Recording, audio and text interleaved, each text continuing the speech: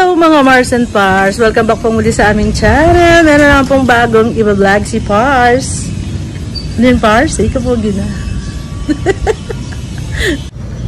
Tuturo natin ngayon paano gamitin yung bopping machine.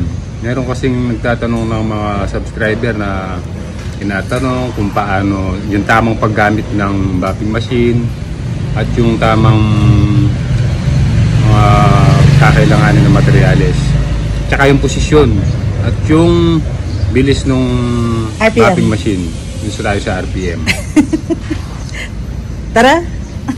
Ito yung gagamitin nating bopping machine na sponsor po sa atin ng ating Subscribers. driver Ah, makita.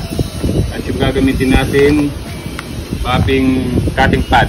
May iba't ibang klase nito. Mga market bars, merong polishing pad lang. Pero ito pag may cutting pad, ayan, cutting pad and polishing all in one.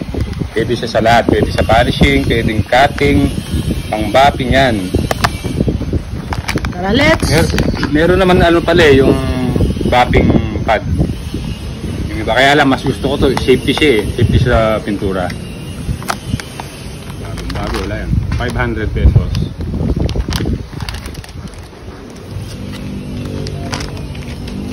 Kailangan lapat siya. Yung bilog niya, sentro. Kasi pag hindi sa sentro, gegewang. Gege, Nag-o 8, hindi pala nakasaksak. Mars. Hmm, saksak niya pa.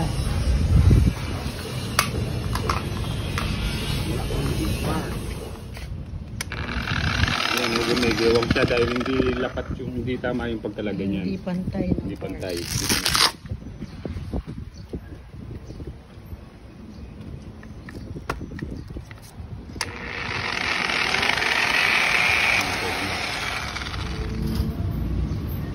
Ito yung mga RPM niya. Na, nasa bopping machine naman eh.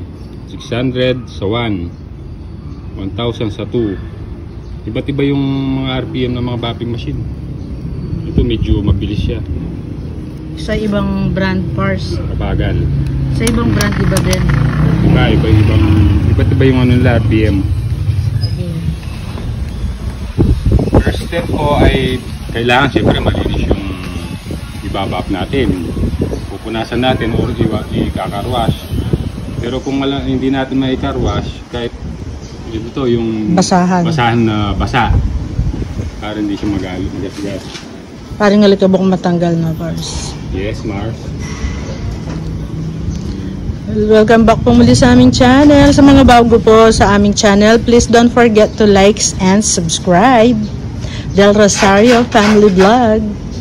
Ito yung gagamitin nating compound. Ano po ito? Aldura compound.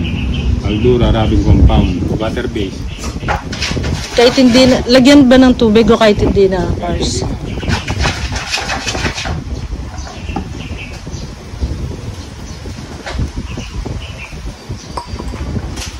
Gas mapping machine. Una, ito ito patigin mo partners. Kailangan itong wire niya sabit nyo dito. Nakasampay sa balikat. Oo, kasi pag hindi nakasampay, natin nakakagasgas siya sa part ng pintura ng sasakyan. Yan, ganyan. At yung umpisa, una muna tayo sa 600. Habang kakalat natin yan, yan yung compound.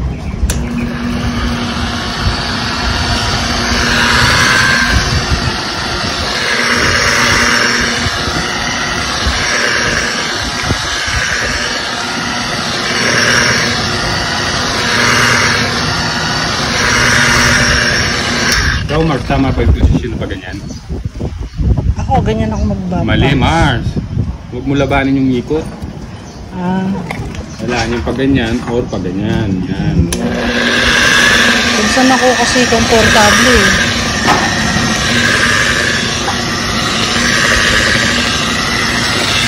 Tapos lagay na natin sa 1,000. Meron palang lock yan. Eh.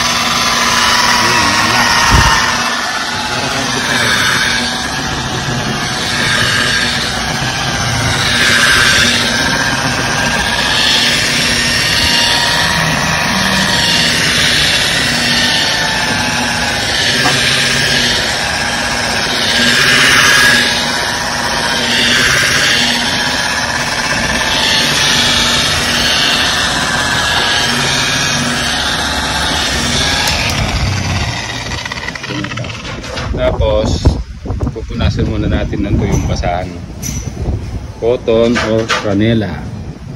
Or microfiber. Microfiber.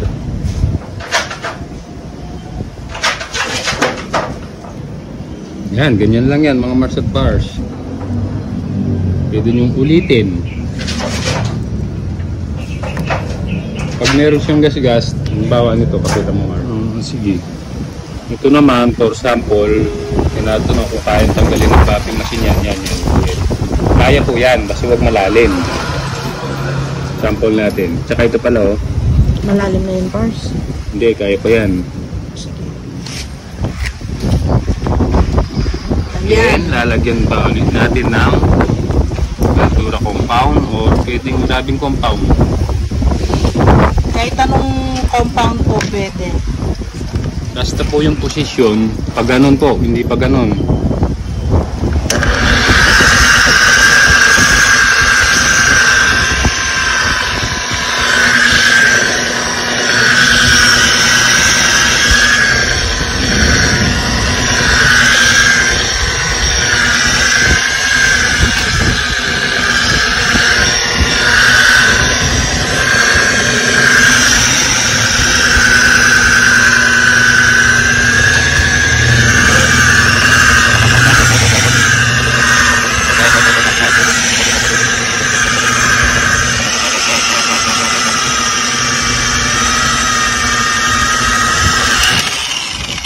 Natanggal natin. oh. Tanggal yan. Tanggal na po. Oh, mga Mars and Pars. Basta papaw. Basta hindi po siya, hindi malalim yung pagkakagas-gas.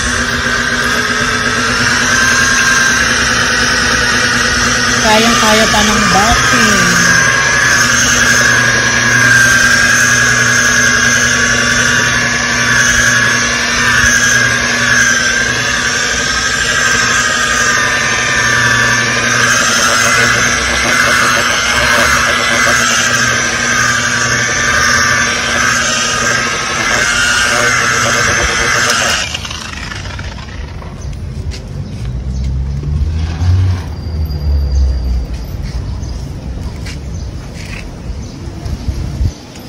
Ayan, wala na.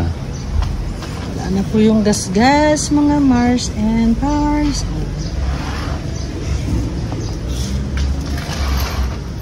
Oh, oh diba? Oh. Tapos, Mars.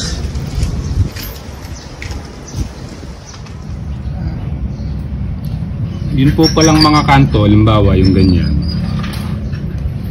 Ingatan po natin, ingatan nyo na baka maano, masobrahan.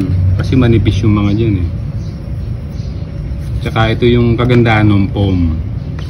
Kahit pag ganun siya, pwede. Hindi kamukha ng bapping pad, may matalim dito yun. Mm-mm. Ito kahit pag ganun-ganun mo, pwede siya. Yung pa, malambot din. Kahit pang singit. Oh, yan, pag ganyan-ganyan lang, yan. yan.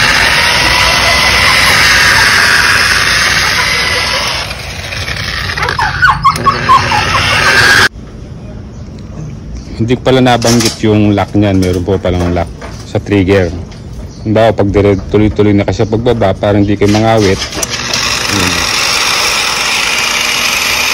At hindi mo na, hindi mo na type. Ito yung purpose ito. Yung bilog na parang switch na maliit. Ah, yun lang po mga Mars at Par. Sana may konting na itulong po kami. Or na-share. mm Ay, may nagtatanong pa ng subscriber. Please Mars, don't forget to like and subscribe po sa mga bago po sa aming channel. tinatanong po nila kung magkumare kami. Hindi po, mag-asawa po kami. Akala nga nila nanay ko. Joke lang po. Thank you very much. Thank you and bye-bye!